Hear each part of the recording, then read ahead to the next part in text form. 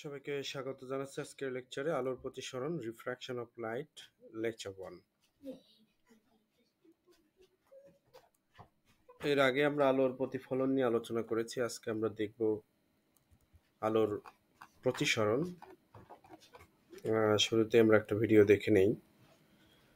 তারপর মূল আলোচনায় আমরা যাব। ভিডিওটি আমি ইউটিউব থেকে অলরেডি বের করে রেখেছি। এখানে দেখতে পাচ্ছি যে একটা আলোর সোর্স থেকে লাইট সোর্স থেকে লাইট পানির আহ, উপরিতলে ধরা হয়েছে এবং পানির ভিতর দিয়ে লাইটটি যাওয়ার সময় আলো ঠিক যে পথে আসছিল সেই পথে না গিয়ে একটু বেঁকে যাচ্ছে। হ্যাঁ ওই যেখানে একটা ডিরেকশন কল্পনা করি সোর্স থেকে যে সোর্স থেকে যেভাবে যাওয়ার কথা ছিল যে ডিরেকশনে যে সরল রেখায় সেটি সেই পথে না গিয়ে একটু বেঁকে গেছে। এই যে আলোক রশ্মি বেঁকে গেল, এটাই আসলে আলোর প্রতিসরণ রাইট তো এখানে একটা বিষয় লক্ষণীয়, সেটা হলো যখন আমরা একেবারে খারাপভাবে, অর্থাৎ পানির উপরিতলে তলে লম্বভাবে, পানির উপরি তলের সাথে যদি আমরা লম্বভাবে আলোক রশ্মিটা প্রবেশ করাই, তাহলে দেখা যায় যে আলোক রশ্মির কোনো দিকের কোনো পরিবর্তন হয় না রাইট তার মানে আলোক রশ্মির দিকের পরিবর্তন তখনই হবে যদি একটু অ্যাঙ্গেল করে, অর্থাৎ তির্যকভাবে আলোক রশ্মি প্রবেশ করানো হয়। তো চলো আমরা আলোচনায় যাই। তা আলোর প্রতিসরণ বিষয়টি কি? কথায় বলা হয় যে আলোক রশ্মি যখন এক মাধ্যম থেকে অন্য মাধ্যমে প্রবেশ করে, তখন দুই মাধ্যমে বিভেদ তল হতে আলো কিছুটা দিক পরিবর্তন করে। আলোর দিক পরিবর্তনের এই ঘটনাকে বলা হয় আলোর প্রতিসরণ। রাইট তো আমরা জানি যে দুইটা মাধ্যম যখন আমরা এখানে চিত্রের সাহায্যে দেখাই, আলোর প্রতিসরণে আমি ঘটনাটা ব্যাখ্যা করছি। দুটা মাধ্যম যখন মিশে যায়, ধরো উপরে একটা মাধ্যম, এটা ধরো একটা টেবিল। এই টেবিলের উপর একটা, টেবিলই একটা মাধ্যম, কাঠ মাধ্যম। তো টেবিলের উপর বায়ু আছে রাইট তো এই দুই মাধ্যমে, একটা হলো বায়ু মাধ্যম, একটা কাঁচ কাঠ মাধ্যম, অথবা টেবিলটির উপরিতলটা যদি গ্লাস দিয়ে তৈরি হয়, কাঁচ হয়, তাহলে আমরা বলতে পারব যে উপরে হলো বায়ু, নিচে হলো কাঁচ। এই দুই মাধ্যমের বিভেদ তল সংস্পর্শ তল। এই সংস্পর্শে তলে যখন আলোক রশ্মিটা আসবে আপতিত হবে যে কোনো একটা বিন্দুতে হইতে পারে তলের যে কোনো এখানে এখানেও হইতে পারে, এখানেও হইতে পারে, এখানেও হতে পারে। যে কোনো একটা বিন্দুতে আলোক এখানে আপতিত হয়েছে ফর এক্সাম্পল তো এই আলোক যখন দিক পরিবর্তন যা গ্লাস মাধ্যমে প্রবেশ করবে, তখন দেখা যাবে এই সরাসরি সোজাসুজি না গিয়ে একটু দিক পরিবর্তন করবে। এটাই তো আলোক প্রতিসরণ।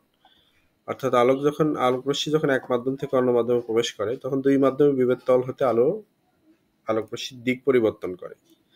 এই দিক পরিবর্তনের ঘটনাটাকেই বলা হয় আলো প্রতিসরণ।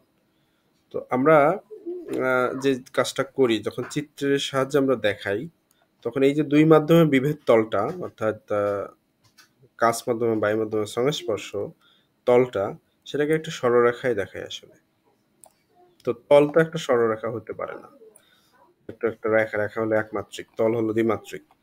তো এই রেখা দ্বারা আসলে কি বোঝানো হচ্ছে? এই রেখা দ্বারা হচ্ছে যে আমি যদি এই টেবিলের সাইড থেকে দেখি সাইড ভিউ যেটা, তাহলে দেখা যাবে যে এই টেবিলের এই এই ধারটা দেখা যাবে। মূলত আমরা যখন চিত্রের মধ্যে দেখাই, এই যে রেখাটা ধার বা দৈর্ঘ্য যেটা বলব আমরা, এই যে দৈর্ঘ্যটাই, সেটাই আমরা আসলে এখানে দেখাই একটা রেখার মাধ্যমে এবং এটা আসলে একমাত্র দ্বিমাত্রিক বোঝাইতে বোঝানো সম্ভব হচ্ছে না এই একটা রেখা দ্বারা। কিন্তু এটাকে যদি আসলে কেউ সঠিকভাবে দ্বিমাত্রিক বোঝাতে চায়, তাহলে তাকে এইভাবে একটা তল আঁকতে হবে। তো এই তলের উপর কোনো একটা বিন্দুতে আলোক রশ্মি আপতিত হবে।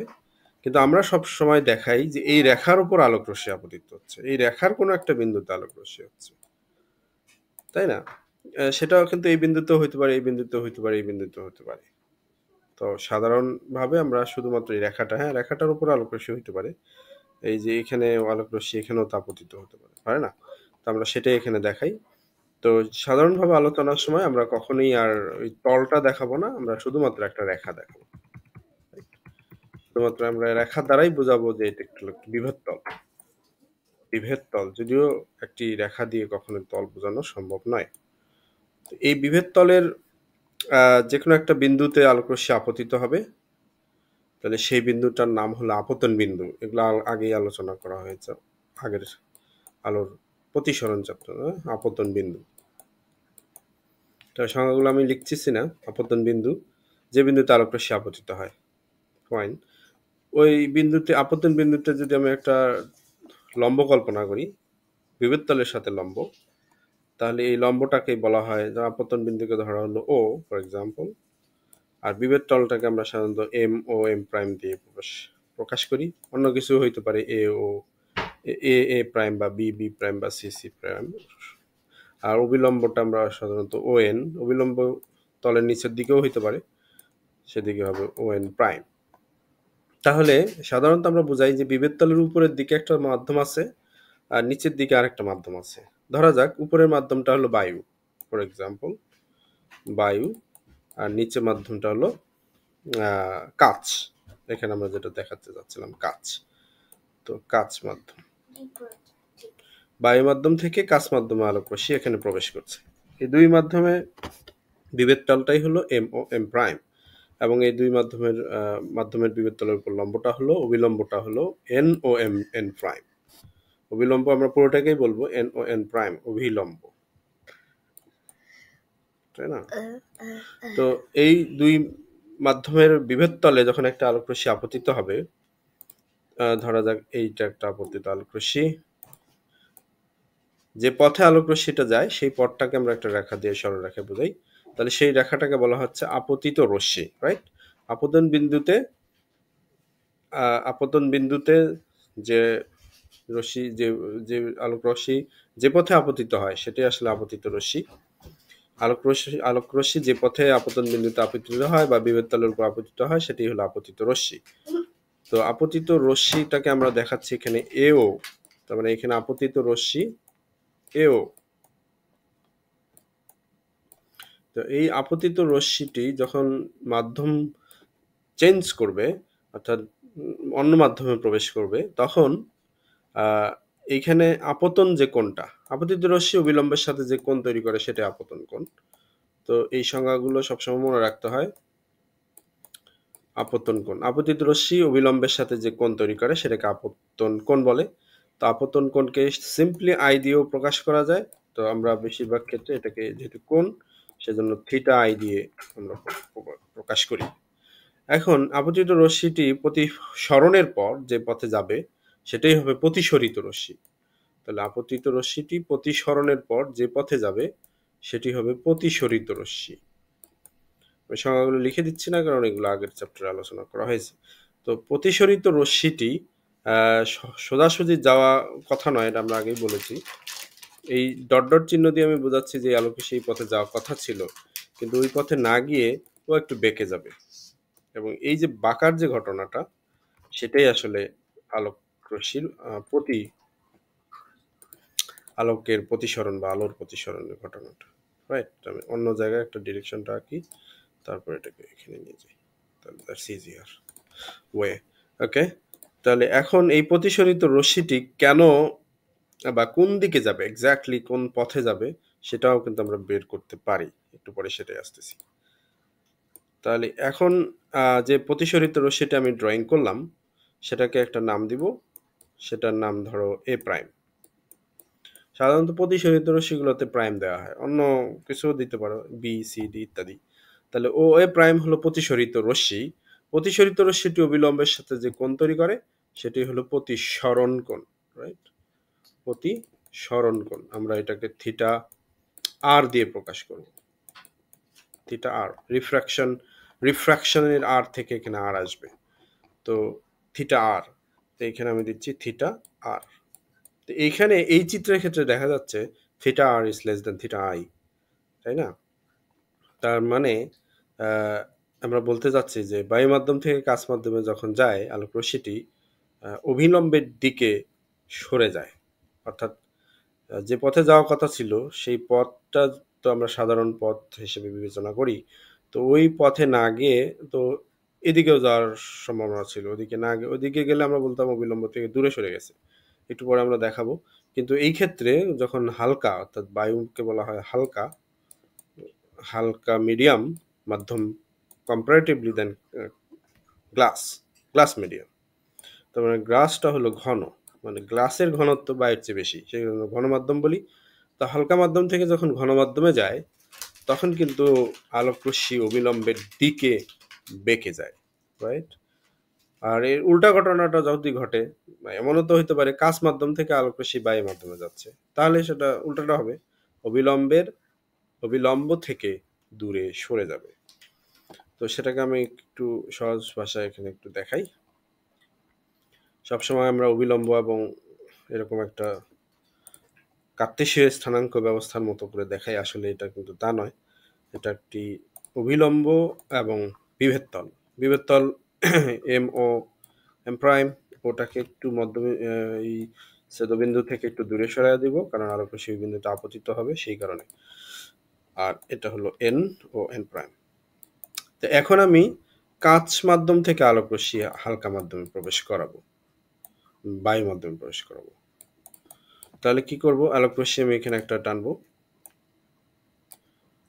এবং আলোক রশ্মির এই দিকটাই বোঝাবে যে আলোক রশ্মি কোন দিক থেকে কোন দিকে যাচ্ছে রাইট আলোক রশ্মির যে আমি এই যে ডিরেকশনটা দিলাম, তীর চিহ্ন, এটাই বোঝাচ্ছে যে আলোক রশ্মি কাছ মাধ্যম থেকে বায়ু মাধ্যমে যাওয়ার চেষ্টা করছে, এখন আপতিত হয়েছে হলো বিবেদ তলে, দুই মাধ্যমে বিবেদ তলে।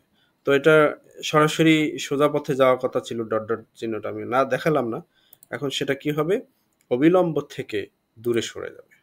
অবিলম্ব থেকে দূরে সরে যাবে। দ্যাট মিনস এই যে ওকে এটা কেন হচ্ছে? আমি একটু পরে আসতেছি, কোন সূত্রের সাহায্যে আমি ব্যাখ্যা করব সেটাও বলে দিচ্ছি। থিটা আর এখানে হলো theta i theta i is less theta i sorry theta r is greater than theta i এই ক্ষেত্রে। যখন আলোকরশ্মি কাছ থেকে, অর্থাৎ ঘন থেকে হালকাতে যাচ্ছে। আলোকরশ্মি কোথা থেকে কোথায় যাচ্ছে? ঘন থেকে হালকায় যাচ্ছে। তাহলে কি হলো এখানে? কি কি ক্যারেক্টারিস্টিক্স আমরা পাইলাম? থিটা এক নাম্বার হলো theta r is greater than theta i মানে প্রতিসরণ কোণ, আপতন কোণ অপেক্ষা বড় হবে। ফলে আমরা লিখতে পারি যে আলোক রশ্মি অবিলম্ব থেকে প্রতিসরিত রশ্মি অবিলম্ব, প্রতিসরিত রশ্মি অবিলম্ব হতে দূরে সরে যাবে। আগেরটা ছিল এর উল্টাটা এটা লিখে দিলাম না। প্রতিসরণের দুইটি সূত্র আছে। যেমন ছিল আলোর প্রতিফলনের দুইটি সূত্র। আলোর প্রতিসরণের দুটি সূত্র। প্রথম সূত্রটা হলো, আপতিত রশ্মি, আপতন বিন্দু, প্রতিসরিত রশ্মি আপতিত রশ্মি, প্রতিসরিত রশ্মি।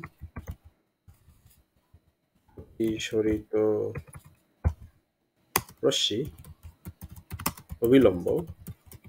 আপতন বিন্দুতে একই সমতলে থাকবে। সমতলে থাকবে। এটা এই চিত্রে বোঝানো কঠিন। এটা আসলে থ্রি মাধ্যমে বোঝাইতে হয়। তো ওটা ডেমনস্ট্রেশন দেখতে হবে যে কীভাবে আপতিত রশ্মি প্রতিশোধ রশ্মি আপতন বিন্দুতে অবিলম্ব এবং অবিলম্ব আপতন বিন্দুতে একই সমতলে থাকবে। অবিলম্বর পর একটা কমা দিলে ভালো, অবিলম্ব আপতন বিন্দুতে একই সমতলে থাকবে। দুই নম্বরটা ইম্পর্টেন্ট সেটা হলো দুই নম্বর সূত্রটা প্রতিসরণের দুই নম্বর সূত্র যা প্রতিসরণের দ্বিতীয় সূত্র যেটা আমি এখন লিখতেছি প্রতিসরণের দ্বিতীয় সূত্র। সূত্র। দ্বিতীয় সূত্রটাকে আসলে স্নেলের সূত্র বলা হয়। স্লেনের সূত্র। সূত্রটা হলো একটি, একজোড়া নির্দিষ্ট মাধ্যমে, একজোড়া নির্দিষ্ট মাধ্যমে নির্দিষ্ট রঙের, নির্দিষ্ট রঙের আলোক রশ্মির জন্য আলোক রশ্মির জন্য আপতন কোণের সাইন এবং প্রতিসরণ কোণের সাইনের অনুপাত ধ্রুব সংখ্যা। এটাই আসলে স্নেলের সূত্র। আপতন কোণের সাইন এবং প্রতিসরণ কোণের সাইনের অনুপাত অনুপাত একটি ধ্রুব সংখ্যা। আমি দেখতে পাচ্ছি যে ইয়াস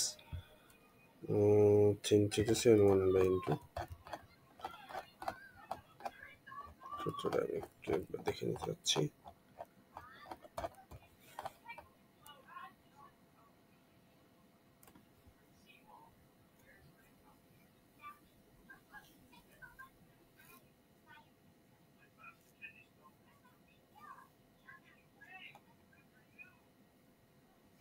এখানে সূত্র বিবৃতিটা দেয়নি। সূত্রের বিবৃতিটা হলো এটাই। একটি নির্দিষ্ট, একটা নির্জন, একজনের নির্দিষ্ট মাধ্যমে একটি নির্দিষ্ট রঙে আলোক রশ্মির জন্য আপতন কোণের সাইন ও প্রতিসরণ কোণের সাইনের অনুপাত একটি ধ্রুব সংখ্যা। তো চিত্র আগেরটাই। ধরা যাক একটি বিভেদ তল, এম ও এম প্রাইম। এখানে একটি আলোক রশ্মি আপতিত যদি হয় এই বিভেদ তলের উপর তাহলে নিশ্চয়ই একটা কি থাকবে? আপতন কোণ থাকবে, একটা প্রতিসরণ কোণ থাকবে। এই আপতন কোণের সাইন এবং প্রতিসরণ কোণের সাইনের অনুপাত একটি ধ্রুব সংখ্যা। ধরা যাক আপতন কোণটাকে আমরা বললাম থিটা আই থিটা আই এটা আপতন কোণ। আর প্রতিফল প্রতিসরণ কোণ যদি হালকা থেকে গণমাধ্যমতে যায়, তাহলে এটা একটু বেঁকে যাবে। বেঁকে গেলে সেটা কি হবে? থিটা আর হবে। Theta r theta i theta r তবে এই ক্ষেত্রে আসলে থিটা আই এবং থিটা ওয়ানটা ইউজ করা হয় না। থিটা ওয়ান এবং থিটা টু ইউজ করা হয়। তবে theta i theta r use করলে কোনো সমস্যা হবে না। থিটা আর ইউজ করলাম আমি। তাহলে আপতন কোণের sine theta i sine theta i এবং প্রতিসরণ কোণের sine sine theta r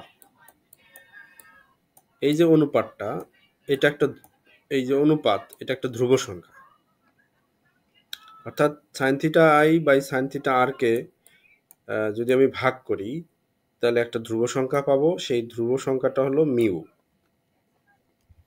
mu দিয়ে প্রকাশ করা হয়। বা এই ক্ষেত্রে মানে এন দিয়ে প্রকাশ করা হয়েছে। আমি এন দিয়েই প্রকাশ করলাম। তো, ধ্রুব সংখ্যা বলতে কি বোঝাচ্ছে? বোঝাচ্ছে যে তুমি আপতন কোণ চেঞ্জ করলে প্রতিসরণ কোণ চেঞ্জ হবে। ধরা যাক যে থিটা ওয়ান আপতন কোণের তিনটা মান আমি ধরলাম, theta one, theta two, theta three right তো ওই অনুযায়ী প্রতিসরণ কোণটাও আমরা ধরলাম theta theta one i, theta two i, theta three i. তো এটা অনুযায়ী theta one r, theta two r এবং থিটা থ্রি আর মানে থিটা ওয়ান আই এর জন্য আপতন প্রতিসরণ কোণ থিটা ওয়ান আর এটা হলো আপতন কোণ। তিনটা আপতন কোণ আমি ধরেছি। আর তিনটা প্রতিসরণ কোণ আমি পাবো সেই অনুযায়ী। এটা হলো প্রতিসরণ কোণ। তাহলে প্রত্যেকটা ক্ষেত্রে, এখানে আমি তিনটা ক্ষেত্র নিলাম, এর বেশিও নিতে পারি। আমি বলতে চাচ্ছি যে সাইন থিটা ওয়ান আই কে যদি আমি সাইন থিটা ওয়ান আর দিয়ে ভাগ করি, যে রেজাল্ট পাবো সাইন থিটা টু আই কে সাইন থিটা টু আর দ্বারা ভাগ করলেও সেই রেজাল্টই পাবো। শুধু তাই নয়, আমি এই পাশে জায়গা নেই জন্য এই পাশে লিখলাম সাইন থিটা থ্রি আর আইকে সাইন থিটা আর দিয়ে ভাগ করলেও সেম রেজাল্ট পাবে এবং এইটাই ধ্রুব সংখ্যা। ধ্রুব মানে কি? মান সবসময় সেম প্রথমটার ক্ষেত্রে যে মান, দ্বিতীয়টার ক্ষেত্রে মান, তৃতীয় এবং চতুর্থ, পঞ্চম, যতগুলোই কোন হোক না কেন, আপতন কর্ণ হোক না কেন, প্রত্যেকটার জন্যই তো এক একটা প্রতিসরণ কোণ পাওয়া যাবে। সেই প্রত্যেকটা প্রতিসরণ কোণের অনুপাতই ধ্রুব সংখ্যা হবে এবং সেই ধ্রুব এন দিয়ে প্রকাশ করা হয়। রাইট ধ্রুব সংখ্যাকে এন বলা হয়। মানে এটার একটা নাম আছে। এটাই আসলে প্রতিসরণাঙ্ক, আমরা একটু পরে আসব। তাহলে প্রতিসরণাঙ্ক কাকে বলে? প্রতিসরণাঙ্ক। প্রতিসরণাঙ্ক সংখ্যাটাও ওটার মতোই, আমি লিখতেছি না যা শুধু বলে দিব। যে একজোড়া নির্দিষ্ট মাধ্যম, একটি নির্দিষ্ট রঙের আলোক রশ্মির জন্য আপতন কোণের সাইন এবং প্রতিসরণ কোণের সাইনের অনুপাত একটি ধ্রুব সংখ্যা। এই ধ্রুব সংখ্যাকে প্রথম মাধ্যমের সাপেক্ষে দ্বিতীয় মাধ্যমের প্রতিসরণাঙ্ক বলা হয়। প্রথম মাধ্যমের সাপেক্ষে দ্বিতীয় মাধ্যমের প্রতিসরণাঙ্ক বলা হয়। আমি আবার এটা লিখে দিতেছি যে প্রথম মাধ্যমের সাপেক্ষে দ্বিতীয় মাধ্যমের মাধ্যম যেহেতু এক জোড়া, প্রথম মাধ্যমের মাধ্যমের তুলনায় তুলনা করে প্রথম মাধ্যমের সাপেক্ষে দ্বিতীয় মাধ্যমের প্রতিসরণাঙ্ক এটা লিখব হলো এটাকে লিখব হলো ওয়ান আগে দিব এন এর আগে ওয়ান এন এর পরে টু অথবা প্রথম মাধ্যমটা যদি বায়ু হয়ে থাকে, যে মাধ্যম থেকে আলোক রশ্মি আসতেছে, সেই মাধ্যমটাকে যদি বায়ু বা এয়ার হয়ে থাকে, আর যেটাতে যাচ্ছে, সেটা যদি গ্লাস হয়ে থাকে, তাই না? আলোক রশ্মি এভাবে আসতেছে, এভাবে যাচ্ছে। তো প্রথম মাধ্যমটাকে যদি এয়ার হয়, সংক্ষেপে এ, দ্বিতীয় মাধ্যমটা যদি গ্লাস হয়, সংক্ষেপে জি, তাহলে প্রথম মাধ্যমের সাপেক্ষে এ, এন, জি। বোঝা গেল? তার মানে বায়ুর সাপেক্ষে গ্লাসের প্রতিসরাঙ্ক যেমন প্রথম মাধ্যমের সাপেক্ষে আমি লিখেছি লিখেছিলাম one, two, one, N, two মানে প্রথম মাধ্যমের সাপেক্ষে দ্বিতীয় মাধ্যমের প্রতিসরাঙ্ক এটা উল্টাটাও হতে পারে। দ্বিতীয় মাধ্যমের সাপেক্ষে প্রথম মাধ্যমের প্রতিসরাঙ্ক যদি আমি লিখি, তাহলে টু আগে যাবে, ওয়ান পরে যাবে। যার সাপেক্ষ সেটা আগে থাকে, যার প্রতিসরাঙ্ক সেটা পরে থাকে। যেমন আমি প্রতিসরণাঙ্ক আসলে যদি গ্লাসের লিখি, তাহলে এটা কার সাপেক্ষে? মানে কোন মাধ্যম থেকে আলোক রশ্মি আসতেছিল সেটার উপর ডিপেন্ড করে প্রতিসরণাঙ্কের মানটা। প্রতিসরণাঙ্কের মানটা যদি বায়ু থেকে হয়, তাহলে গ্লাসের যা হবে অন্য কোনো মাধ্যম থেকে আসলে সেজন্য প্রতিসরাঙ্ক আসলে দুই প্রকার। এক নম্বর হলো পরম প্রতিসরাঙ্ক এটা খুবই ইম্পর্টেন্ট পরম প্রতিসরাঙ্ক আমরা আসলে একটু পরেই লিখব যে পরম প্রতিসরাঙ্ক কি জিনিস? পরম পরম প্রতিসরণাঙ্ক। পরম প্রতিসরণাঙ্ক হলো সংজ্ঞাটা আগে বলে নিতে হবে যে একজন নির্দিষ্ট মাধ্যম এবং একটি নির্দিষ্ট রঙের আলোক রশ্মির জন্য আপতন করে সাইনন প্রতিসরণ কোন সাইনন ধ্রুব সংখ্যায় ধ্রুব কক ধ্রুব সংখ্যাকে প্রথম মাধ্যমে সাপেক্ষে দ্বিতীয় মাধ্যমের প্রতিসরণ বলে। প্রথম মাধ্যমটি যদি বায়ু হয় তাহলে দ্বিতীয় মাধ্যমের প্রতিসরাঙ্ককে বলা হয় পরম প্রতিসরাঙ্ক। আমি লিখে দিতেছি, প্রথম মাধ্যমটি যদি বায়ু হয়, প্রথম মাধ্যমটি মাধ্যমটি যদি বায়ু হয়, তবে দ্বিতীয় মাধ্যমের প্রতিসরাঙ্কই হলো, দ্বিতীয় মাধ্যমের প্রতিসরণাঙ্কই হলো ওই মাধ্যম দ্বিতীয় মাধ্যমের দ্বিতীয় মাধ্যমের পরম প্রতিসরণাঙ্ক পরম প্রতিসরণাঙ্ক অর্থাৎ এ মিউজি ভুল লিখেছি এটা আসলে। প্রথম মাধ্যমটি যদি শূন্য মাধ্যম হয়, প্রথম মাধ্যমটি যদি শূন্য হয়, তবে দ্বিতীয় মাধ্যমের প্রতিসরাঙ্কই হলো দ্বিতীয় মাধ্যমের পরম প্রতিসরাঙ্ক তার মানে শূন্য মাধ্যম বলতে কিছুই নাই। জিরো, আমরা লিখব জিরো এন জি। তার মানে এটা হলো পরম প্রতিসরাঙ্ক অফ গ্লাস বা কাঁচের পরম প্রতিসরাঙ্ক তাই না? কারণ প্রথম মাধ্যমটা যেহেতু জিরো কাছের পরম প্রতিসরণাঙ্ক। আসলে বায়ুর সাথে জিরো জিরোর কোনো খুব বেশি পার্থক্য হয় না। অর্থাৎ পরম প্রতিসরাঙ্কের মান প্রথম মাধ্যম থেকে শূন্য মাধ্যম থেকে আলোক আমরা জানি আলোক আলো শূন্য মাধ্যমে যেতে পারে, কোনো মাধ্যম ছাড়াই আলো ট্রান্সফার হয়। সেজন্য প্রথম মাধ্যমটা শূন্য হতেই পারে, অর্থাৎ এটা শূন্য, কিছুই নাই এই মাধ্যমে, বায়ুও নাই। আর দ্বিতীয় মাধ্যমটা হলো কাজ। সেক্ষেত্রে আমরা বলব যে জিরো মিউজি জিরো মিউজি বা পরম জিরো এন জি মানে পরম প্রতিসরাঙ্ক কাছের পরম প্রতিসরাঙ্ক, এইটা। তাহলে শূন্য পরিবর্তে যদি আমরা এখানে এয়ার রাখি তাহলে এই জিরো মিউজি মানে কাছের পরামর্শ অথবা এম এন জি, মিউ বলতেছি মিউ দিয়েও আসলে প্রতিসরাঙ্ক প্রকাশ করা হয়, সেজন্য অভ্যাসবশত মিউটা চলে আসতেছে। তো এ এন জি, এটা কি? এটা মানে হলো বায়ুর সাপেক্ষে কাছের প্রতিসরাঙ্ক তাই না? এই মান দুটোর মধ্যে খুব বেশি তফাত নাই, খুব কাছাকাছি। বায়ুর সারাঙ্ক বায়ুর সাপেক্ষে কাছের প্রতিসরাঙ্ক তাই না?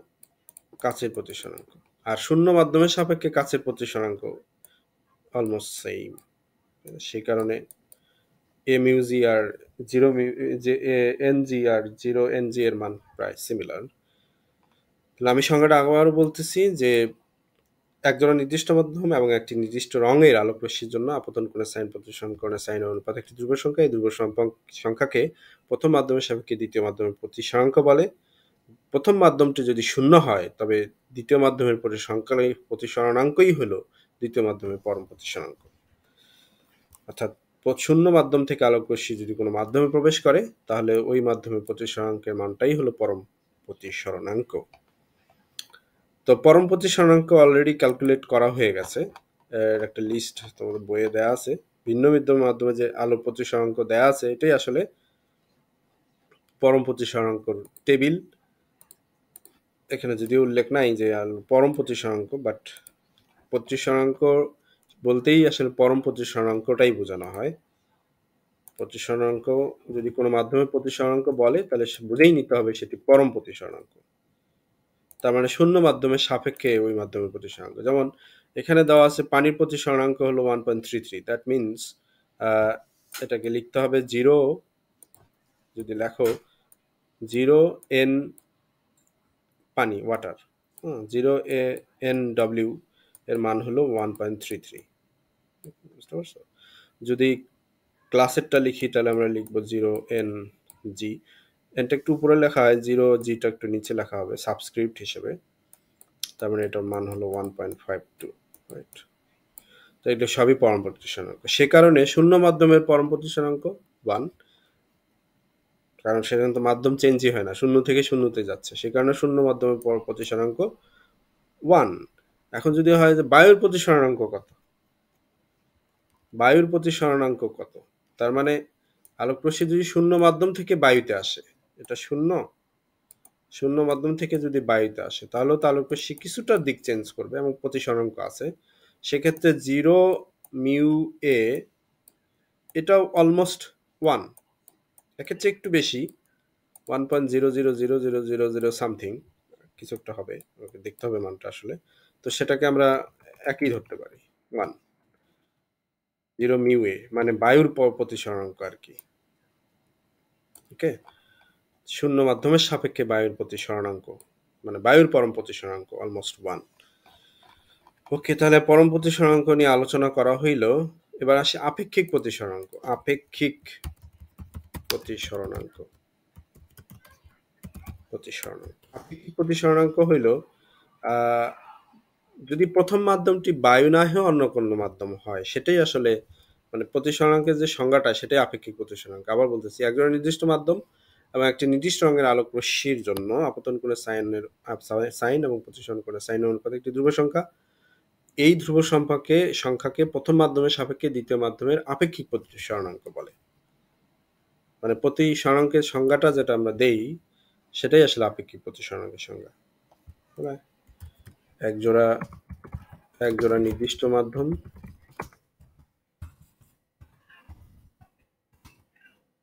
এবং একটি নির্দিষ্ট আলোক রশ্মির জন্য।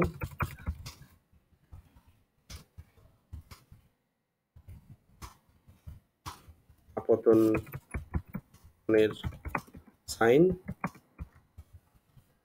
এবং প্রতিসরণ কোণের সাইনের অনুপাত ধ্রুব সংখ্যা। এই ধ্রুব সংখ্যাকে প্রথম মাধ্যমের সাপেক্ষে দ্বিতীয় মাধ্যমের আপেক্ষিক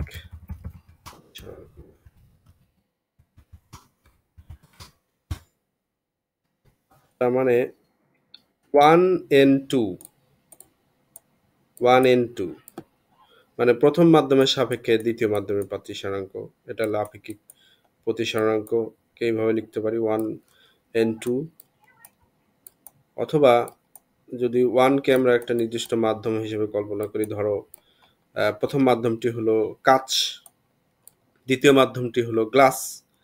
তাহলে হলো জি এন সরি দ্বিতীয় মাধ্যমটি হলো ওয়াটার। তাহলে এটা হলো কাচের সাপেক্ষে কাচের সাপেক্ষে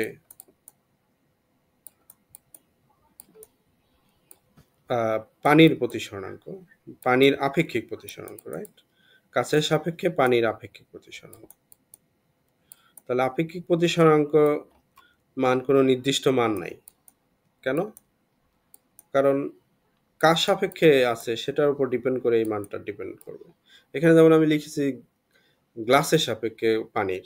তো এটাকে যদি বায়ুর সাপেক্ষে হয়, তাহলে এটাও তাও আপেক্ষিক প্রতিসরাঙ্ক পানির, কিন্তু এই দুই মানটা তো সেম হবে না। অর্থাৎ এটা not equals to G N W right এইভাবে আমরা আপেক্ষিক প্রতিসরাঙ্ককে সংজ্ঞায়িত করি আসলে। তো সংজ্ঞাটা লিখলাম, কিন্তু ইকুয়েশনটা তো লেখা হলো না। চলো আমরা এখন ইকুয়েশনটাকে সঠিকভাবে লিখি। আপেক্ষিক প্রতিসরাঙ্ক যেমন ধরো এ এন জি তাহলে এটা হবে sine theta i divided by sine theta r right তার মানে এই সূত্র দ্বারা, এই সূত্রটা ভালো করে খেয়াল করো। এখানে আইটা হবে এয়ার মাধ্যমে। আপতন কোনটা হবে এয়ার মাধ্যমে আর প্রতিসরণ কোনটা হবে?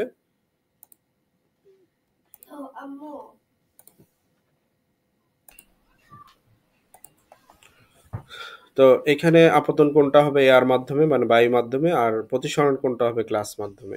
এইটা এটা মনে রাখলেই হবে। তাহলে আপতন উপরে যেটা থাকবে সেটা আপতন কোণ এবং নিচে সেটার সাথেই এটার রিলেশন আছে তাই না? আর নিচে যেটা থাকবে সেটা প্রতিসরণ কোণ মাধ্যমটা ওকে তো এই ছিল আপতন কোণ সংক্রান্ত, প্রতিসরণ কোণ বাচনের সূত্রের আলোচনা। আমরা একটা অঙ্ক দেখি। একটা গাণিতিক সমস্যা দেখি।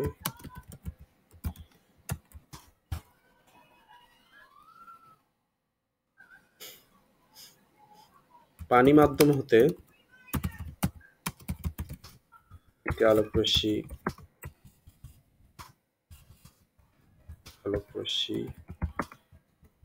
পানীয় কাজ মাধ্যমের বিভেদ তলে আপতিত হলো। কাঁচ মাধ্যমে পানির কাঁচ মাধ্যমে পানির আলোর প্রতিসরণ কোণ নির্ণয় করো এবার তাহলে এত ডিগ্রি কোণে আপতিত হলো, এটা লিখতে ভুলে গেলাম। ধরো টোয়েন্টি ডিগ্রি কোণে আপতিত হলো। Twenty degree. টোয়েন্টি ডিগ্রি কোণে আপতিত হলো কাজ মাধ্যমে আলো প্রতিসরণ কোণ নির্ণয় করো। তা আমরা সবসময় আপতনটা উপরের দিকে দেখাই, তাহলে উপরেরটা হলো পানি। উপরে, আর নিচেরটা হলো গ্লাস। তারপর আলোক রশ্মি এদিক থেকেও নিতে পারি পাশ থেকেও নিতে পারি। এটা হলো আপতন কোণ। আপতিত রশ্মি আপতিত রশ্মি যে কোণে অবিলম্বের সাথে যে কোণ তৈরি করে সেটাই আপতন কোণ। তো আপতন কোণ এখানে টোয়েন্টি ডিগ্রি চিত্র আর্ট করতে হবে না। জাস্ট প্রথমবার সেই কারণে চিত্র আর্ট করতেছি। যেহেতু পানি মাধ্যমে যাবে, সেটা অবিলম্বের দিকে বেঁকে যাবে। আমরা জানি যে পানির চেয়ে তো কাজ ঘন। সে কারণে। তো চিত্র আর্ট করতে এটা ভুল হলেও সমস্যা নেই, কারণ আমরা অঙ্ক করে তো মানটা বের করব। Theta r equals to what তাই না? থিটা আই দেওয়া আছে টোয়েন্টি ডিগ্রি তো থিটা আইটা পানিতে, খেয়াল করো, আপাতন কোণ পানিতে আর প্রতিসরণ কোণ গ্লাসে তো সেই অনুযায়ী আমাদের ইকুয়েশনটা কিন্তু লিখতে হবে। তাই না? প্রতিসরণের যে সূত্রটা, সেটা কার সাপেক্ষে লিখব? পানির সাপ পানির সাপেক্ষে, কারণ পানি হতে আলোক আসতেছে। সে কারণে ডব্লিউ এর সাপেক্ষে গ্লাসের প্রতিসরণ করো। সূত্রটা আমরা লিখব, মান যাই থাকুক না কেন, সূত্রটা সঠিকভাবে লিখতে হবে। তা নাহলে অঙ্ক ভুল হবে। Sine theta i by sine theta r right তো এই মানটা আমরা জানি। তো এই থিটা আর বের করতে গেলে সাইন থিটা আর এর মান বের করতে হবে ফার্স্টে তাহলে সাইন থিটা আর সমান সমান হবে sine theta i divided by W N G মানে পানির সাপেক্ষে গ্লাসের প্রতি সরাঙ্ক জানতে হবে তোমাকে। তার মানে এই মানটা এখানে দেওয়া থাকতে হবে।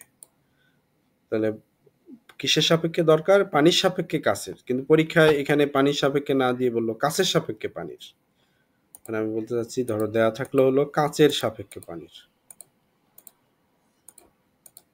কাচের সাপেক্ষে পানির, কাচের সাপেক্ষে পানির।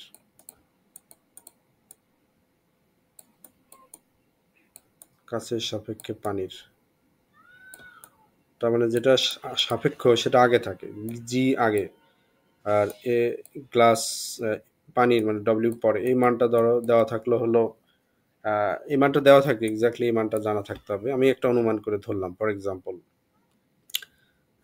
ধরো one point seven two for example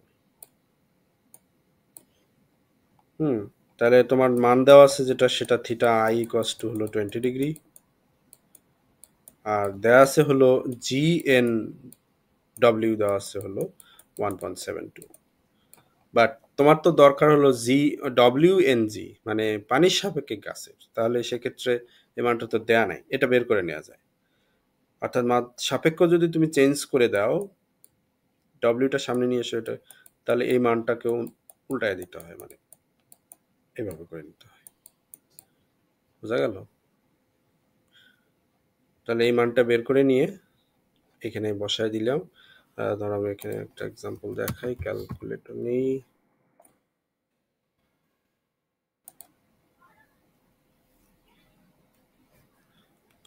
one ভাগ ওয়ান পয়েন্ট সেভেন টু আসলে হলো zero point five eight one তাহলে এটা zero point five eight one তাহলে সাইন সাইন টোয়েন্টি ডিগ্রিকে আমরা sine twenty degree divided by zero point five eight one এটা এখানে বসে তার মানে সাইন থিটা আর এর মান আমরা পাবো একটু পরেই। সাইন টোয়েন্টি ডিগ্রিকে ক্যালকুলেটারে এই মানটা বসিয়ে দিয়ে আমরা বের করতে পারি। আর এই মানটা বের করার পর থিটা আরটা বের করা লাগে ইনভার্স ফাংশন ইউজ করে, যদিও এটা ম্যাথে তোমরা পড়ো নেই সম্ভবত। যে মানটা আসবে ক্যালকুলেটারে এই মানটা বের করতে গেলে শিফট সাইন প্রেস করতে হয়। তার মানে প্রথমে শিফট প্রেস প্রেস করতে হবে শিফট তারপরে ক্যালকুলেটারে যেখানে সাইন চিহ্ন আছে সেটাতে প্রেস করতে হবে দেন এই ভ্যালুটা এখানে, এই মানটা প্রেস করতে হবে। তাহলে এখানে একটা মান আসবে ইকুয়াল দিয়ে একটা ধরো অ্যাঙ্গেল আসবে আর কি।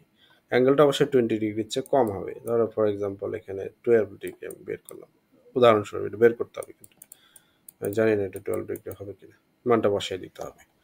ওকে, এইভাবে আসলে আমরা অঙ্কগুলো করব। যার সাপেক্ষে বের করতে বলছে সেটা কিন্তু ইম্পর্টেন্ট সেটা খেয়াল করতে হবে। যেমন কাজ মাধ্যমে কাজ মাধ্যমে আলোর প্রতিসরণ কোণ নির্ণয় করো। কার সাপেক্ষে? এখানে পানির মাধ্যমে, তাহলে পানিটা আগে আছে। এটাই ইম্পর্টেন্ট এই সূত্রটা সঠিকভাবে লিখলেই অঙ্কটা হবে। সূত্রটা সঠিকভাবে না লিখতে পারলে অঙ্কটা ভুল হবে। আরেকটা বিষয় এখানে রয়ে গেছে, সেটা হলো যে আলোর বেগ আমরা জানি যে আলোর বেগ মাধ্যমের উপর নির্ভর করে। নির্ভর করে।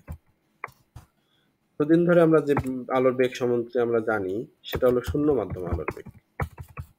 শূন্য মাধ্যমে আলোর বেগ। যেমন শব্দের বেগও মাধ্যমের উপর নির্ভর করে, তেমনি আলোর বেগও সব মাধ্যমের উপর নির্ভর করে। আলোর বেগ শূন্য মাধ্যমে যেটা জানি, যদি কোনো কিছুই না থাকে সেটাকে আমরা লিখি two point nine nine into ten to the power eight metre per second হলো এক্সাক্ট ভ্যালু এটাকে আমরা অ্যাপ্রক্সিমেটলি লিখি three into ten to the power eight metre per second two point nine নাইনকে three ধরা হয়। এটা হলো শূন্য মাধ্যমে। অন্য মাধ্যমে আলোর বেগ কি হবে? সেটা ডিপেন্ড করতেছে এই ইকুয়েশনের উপর। খেয়াল করো যে, ধরো দুটা মাধ্যম। এখানে শূন্য, আর আমি বের করতে যাচ্ছি আল কাছে। কাছ মাধ্যমে আমি ইয়া বের করতে চাচ্ছি আলোর বেগ নির্ণয় করতে যাচ্ছি। তাহলে শূন্য মাধ্যমটাকে এখানে আমি ধরলাম ওয়ান আর কাছ মাধ্যমকে ধরলাম টু তাই না? তাহলে ওয়ান এন টু মানে কি বলতো? ওয়ানের সাপেক্ষে দুইয়ের পরম প্রতিসরাঙ্ক যেহেতু ওয়ানটা শূন্য সেই কারণে এটা পরম প্রতিসরাঙ্কও বলা যায়। তো এই মানটা আমাকে জানতে হবে। এই মানটা যদি জানো, তাহলে তাহলে তুমি কাজ মাধ্যমে আলোর বেগ নির্ণয় করতে পারবা। কীভাবে? যে কাজ মাধ্যমে আলোর বেগ ধরা যাক সি সি জি আর সি নট আমরা জানি। সি নট হলো এই যেটা। তাহলে ওয়ান এন টু সমান সমান হবে C nought by C G. বা এখানে নটটা বলতে আসলে আমি বোঝাচ্ছি। তাহলে এটা এইভাবে না লিখে যেহেতু শূন্য ডিফাইন করা হয়ে গেছে মানে শূন্যের সাপেক্ষে ক্লাসের প্রতি প্রতিসরাঙ্ক সমান সমান শূন্য মাধ্যমের আলোর বেগ ডিভাইডেড বাই ক্লাস মাধ্যমে আলোর বেগ।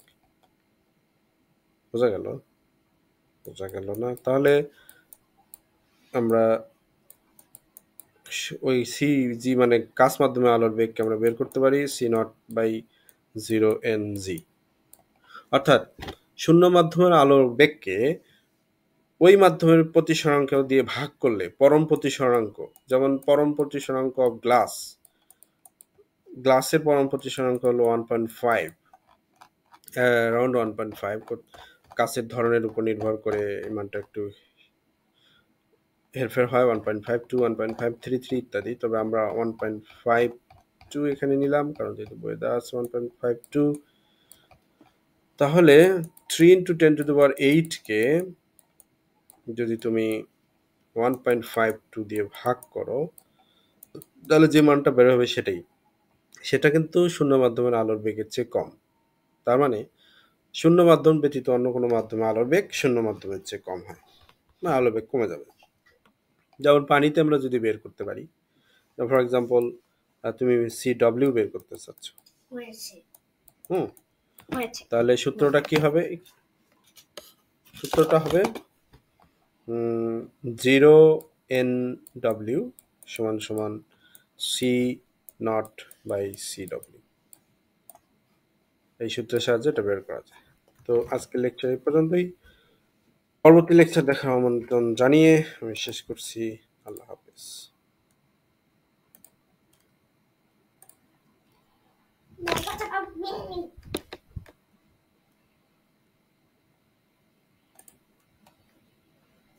নাস্তা বানায় না, মাত্র দুটো বিস্কিট খেয়েছি